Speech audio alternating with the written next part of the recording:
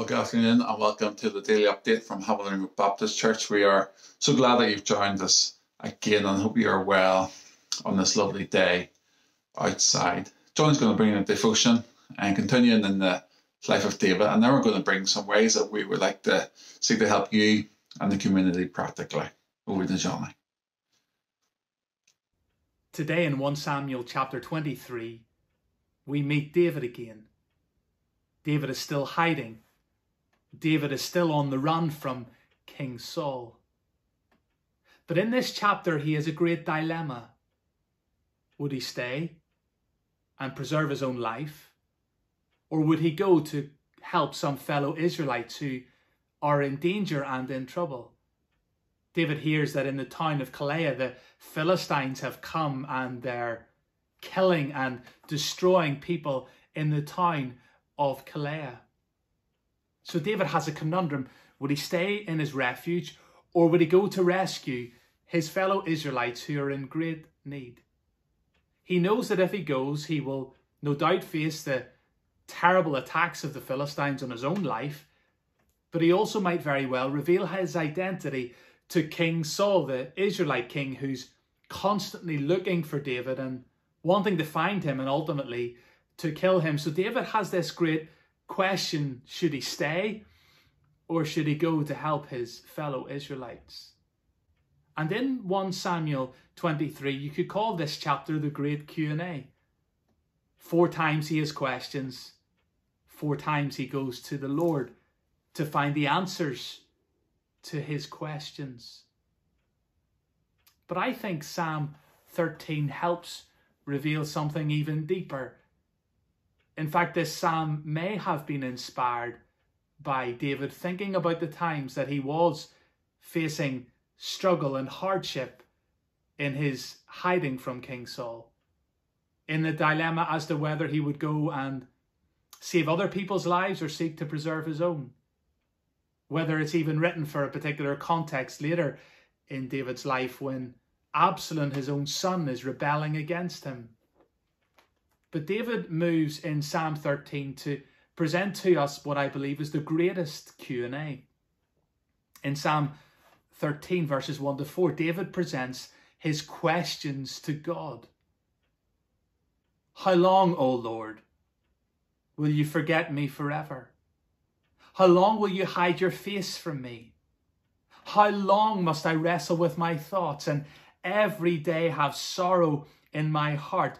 How long will my enemy triumph over me? In 1 Samuel chapter 23, David was asking so many questions of God. Should he stay or should he go? And then here in Psalm 13, he's asking the biggest questions of life. How long, O Lord, will I need to be in this situation? How long, O Lord, will I be on the run from King Saul? How long will I battle this spiritual depression that he experienced many times in his life? And he implores of the Lord in verse 3 Look on me and answer, O Lord my God. Give light to my eyes, or I will sleep in death. My enemy will say, I have overcome him, and my foes will rejoice when I fall. 1 Samuel 23 and Psalm 13 both speaking of the life of David and Psalm 13 revealing the heart of David, reveals some of the big questions of life. How long, O Lord? Why, O Lord? Wonderfully, David finds some answers. And as always, they're always found in the character and in the goodness and in the grace of God. Verses 1 to 4 reveal the questions, but then verses 5 to 6 reveal the answer. David says, But I trust in your unfailing love. My heart rejoices in your salvation. I will sing to the Lord, for he has been good to me. In 1 Samuel 23, David had so many different questions and thankfully answers from God. But while they were big situations, the, the biggest question David asked in his life was, How long, O Lord? Why, O Lord? And maybe if you're asking those questions today, the answer is not found in King David. The answer is found through his greatest son, the Lord Jesus Christ. And in Matthew chapter 27, Jesus himself, from David's family tree, asked a huge question of God, his Father, as well. As he hung on the cross, he said, My God, my God, why? Why have you forsaken me? And because the Father forsook his own Son, the Lord Jesus Christ, we ourselves can come to God. We have access to God through Jesus with our biggest questions like, why, O oh Lord, is this happening to me? And how long, O oh Lord, will this situation in my life go on? Because Christ asked that question on the cross. Because he was forsaken by the Father as our atoning sin bearer. We can now say with David that we can know the unfailing love of God through Christ. That we can know salvation and the rescue of God through Christ. And that we too can know that God is good to us because he gave us his one and only Son.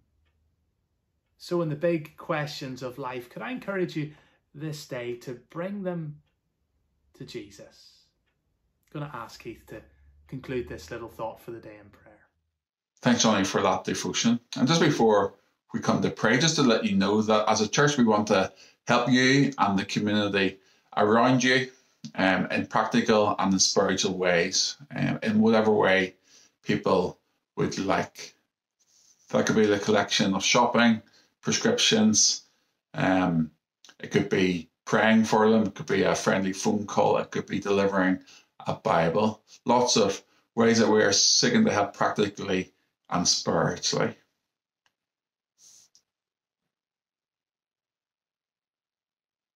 If you'd like to avail this help, uh, you can do that by filling in the form or giving us a phone, and the details are below this video. If you would like to offer this help to others, then you can share the image on social media or over a text message, and you can, you can download that again from our Facebook page or get in touch and we can send it to you. Simply seeking to help others at this time. So let's pray. Father, thank you that you have blessed us abundantly and you've blessed us in Christ. And Father, as we seek to be a blessing to others around us, Father, as we offer practical and spiritual help to those who may need it, Father, I pray that it would be a blessing to them. Father, we pray that many people will be helped and that many people during this time will consider where they stand before you. And Father, we pray as a church family you continue to unite us, build us, grow us, and make us ready for service to you. In Jesus' name we pray. Amen. Thanks for joining us today. Enjoy the rest of your day, and we'll see you again tomorrow.